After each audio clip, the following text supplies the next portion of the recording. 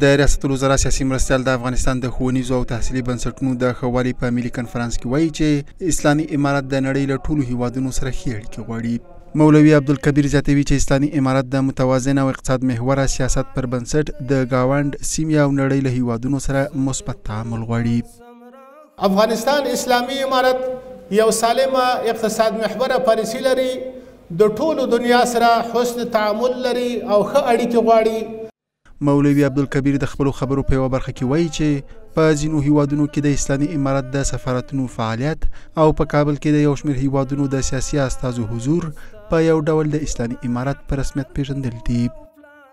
که څه هم دنیا په رسمیت نه یو پیژندلی خو عملا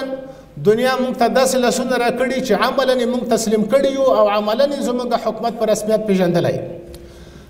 هغه وجه دا ده چې تقریبا په ولس ملکونو کې د موږ تاسې سیاسي نمایندګۍ سفارتونه قونسلګرۍ دا خلاصې دي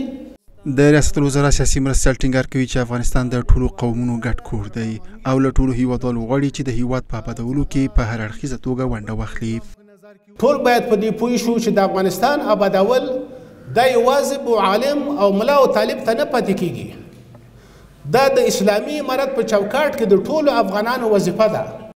دا په داسې حال کې ده چې د اسلامي امارت له بیا واکمنېدو څه باندې دوه کاله تېرېږي خو تر اوسه د ګاونډیو هیوادونو په ګډون هیڅ هیواد اسلامي امارت په رسمیت نه دی پېژندلی